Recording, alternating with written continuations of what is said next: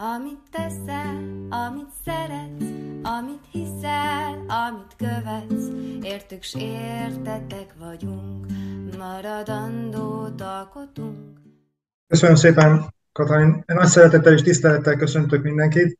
Azt hiszem, hogy a, az első szó, vagy az első mondat az a köszönetékkel, hogy legyen. Én magam és a főkonzulátus, általában a itteni képviseletek nevében szeretném megköszönni minden pedagógusnak, minden szakembernek a munkáját, amit beleöl abba, hogy a picik okosodjanak, és ha lehet, akkor még egy kicsit uh, magyar nyelven is jobban beszéljenek, és meg tudják őrizni a gyökereiket, illetve a nyelvet. Bár most virtuálisan találkozunk, bízom benne, hogy a szokásoknak megfelelően egyszer csak ismét személyesen üdvözölhetek mindenkit itt a főkonzulátuson. Biztos vagyok benne, hogy a virtuális tér nem fogja hátráltatni a találkozó sikerét, és mind szakmailag, mind emberileg mindenki úgy fogja érezni a nap végén, hogy megérte részt venni ezen a programon.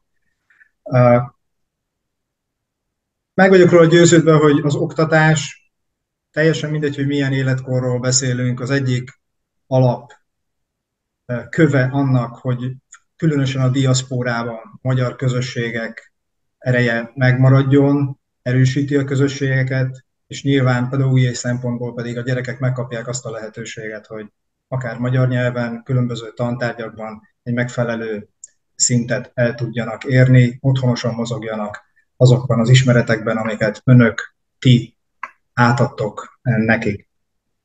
Ez különösen fontos azért, mert tisztában vagyok azzal, hogy igencsak nagy kihívás néha a megfelelő anyagokat beszerezni, kidolgozni a metodikát, terveket, és ez különösen nagy elismerést és tiszteletet érdemlő tevékenység.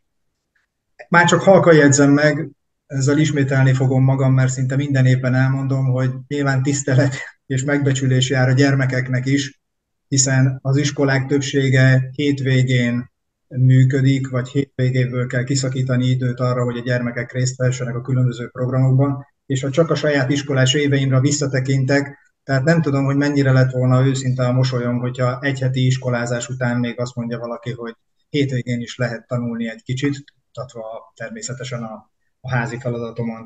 Úgyhogy én biztos vagyok benne, hogy ez egy különös kihívás.